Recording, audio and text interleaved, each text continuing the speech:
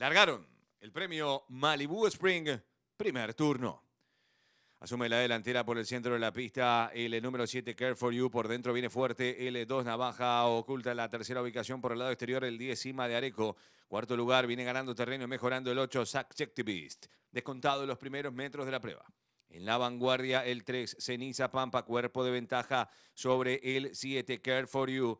La tercera ubicación y por el lado exterior corre el número 10 Madareco. En cuarto lugar lo hace y por el centro de la pista el 8 Subjectivist. En quinta posición queda por el lado exterior de la pista el 9 En of Spring. Luego lo viene haciendo y por el lado interior el número 1 Amasa. Pasaron ya la señal de marcatoria de los 800 metros, mitad de la carrera.